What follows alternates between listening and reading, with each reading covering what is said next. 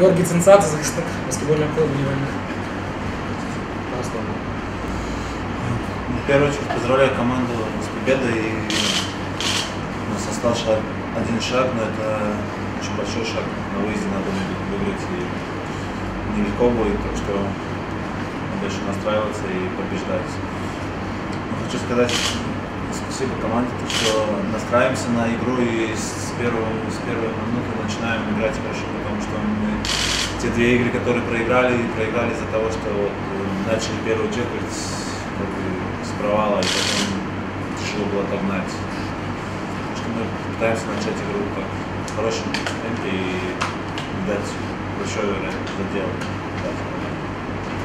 Пане до Георгій.